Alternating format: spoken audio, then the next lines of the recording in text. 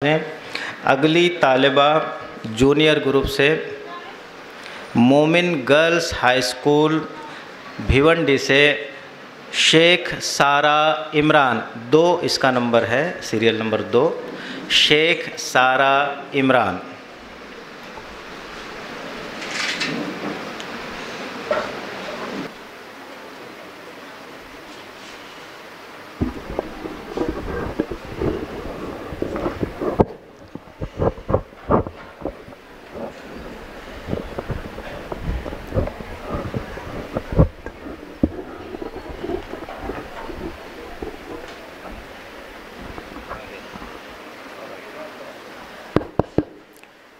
जनाब सदर मुआज़ अहल मीज़ान और सामीन कराम मोबाइल फ़ोन एक ऐसा आला जो सात समंदर दूर बैठे अपने अज़ीज़ व कारब के दिल की आवाज़ उन्हीं के दिलों में उतारता है सदर अली वकार।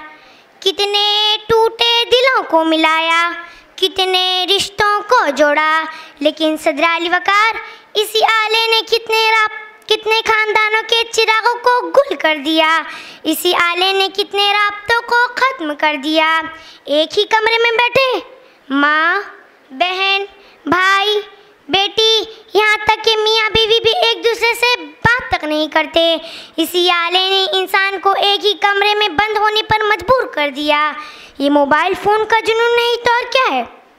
याद रखिए, है दिल के लिए मौत मशीनों की हुकूमत। है दिल के लिए मौत मशीनों की हुकूमत। एहसास मुरवत को कुचल देते हैं आलात सदर अली वकार, अगर मोबाइल ना होता तो ये तमाम रिश्ते एक साथ बैठकर खुश गप्पियों में मसरूफ़ होते। मगर मोबाइल फ़ोन ने शराफत और तमीज़ में फंसे पुश्त डाल दिया।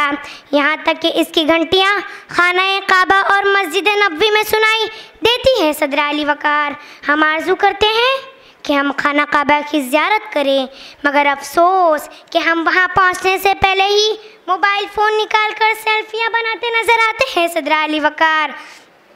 इस जुनून में गर्क, क्या बड़ा, क्या छोटा, क्या बूढ़ा, क्या जवान, क्या जाहिल, क्या आलिम हर कोई इसका दीवाना है। जुनून और दीवानगी इस हद तक बढ़ चुकी है कि मोबाइल के बिना किसी का एक पल करार नहीं होता। आदमी जहाँ भी हो, जिस हाल में भी हो, चाहे ज़रूरी काम ही क्यों ना कर रहा हो, लेकिन हर मिनट पर वो अपनी नज़रें चुरा कर अपने मोबाइल फ़ोन की स्क्रीन की तरफ़ देखने की कोशिश करता है। जैसे कि गोया मोबाइल फ़ोन उसके जिस्म का हिस्सा बन चुका है। ये मोबाइल फ़ोन का जुनून नहीं तो क्या है? मुआज़ सामीन, मेरी इस तकरीर का लफ्ज़ लफ्ज़ हकीकत, हर्फ हर्फ सच्चाई है। इसके जुनून ने बच्चों को अपने वालिदैन का नाफरमान बना दिया। इसके जुनून ने बेहयाई को आम कर दिया। इसके जुनून ने एक बड़े भाई को, कम सिन छोटे भाई के हाथों कत्ल करवा दिया। इसके जुनून ने कितनों को जहनी बीमार, कितनों को पागल कर दिया। वो पेश लफ्ज था जिसने रुला दिया है तुझे। वो पेश लफ्ज था जिसे ने रुला दिया है तुझे। संभाल खुद को। अभी दास्तान बाकी है। अगर सोशल मीडिया की बात की जाए, जहाँ नौजवान नस्ल टिकटॉक में खो गई है, बिनते हवा जिसे पर्दे के अंदर होना चाहिए था, वो पर्दे के सामने बड़ी बेहाई के साथ अपने जिस्म की नुमाइश करती नज़र आ रही है।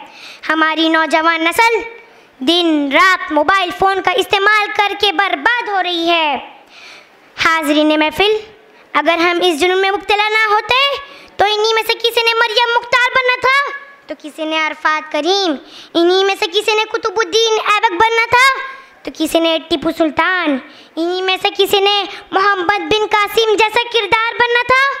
तो किसी ने उमर फारूक जैसा मुनसिफ मगर आज वो मोबाइल फ़ोन में कच्चा बादाम जैसे गाना सुनते हुए नज़र आते हैं, सदर अली वकार।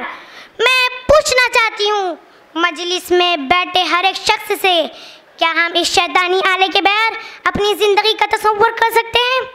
खुदारा, अपने दिल पर हाथ रखकर मुझे जवाब दीजिए। है नहीं ना? मुझे बताइए क्या हमारे असलाफ और आबा ने कामयाब ज़िंदगी नहीं गुजारी क्या मोबाइल फ़ोन की वजह से उनकी ज़िंदगी में कोई रुकावटें दरपेश आई? नहीं, बिल्कुल नहीं, जनाबे वाला। सदर अली वकार, जिन नौजवानों को अच्छा निसाब तालीम देना था, उन्हें मोबाइल फ़ोन के लेटेस्ट मॉडल दिए जा रहे हैं। अगर मोबाइल फ़ोन का जुर्म हम पढ़ना चाहता तो एक बार के शाहीनों के हाथ में किताबें होती। इस नफसा नफसी के दौर में अगर हम मोबाइल फ़ोन इस नफसा नफ्स के दौर में हम मोबाइल जैसी बला को एक तरफ़ रखकर अपने रिश्तेदारों से बातचीत करके देखिए, हमें एहसास होगा कि वक्त कितना खूबसूरती से गुजरता है।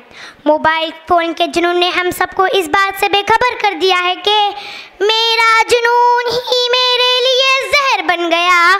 मेरा जुनून ही मेरे लिए जहर बन गया। मैं ज़िंदा तो हूँ, मगर अंदर से मर गया। शुक्रिया, खुदाफिज़।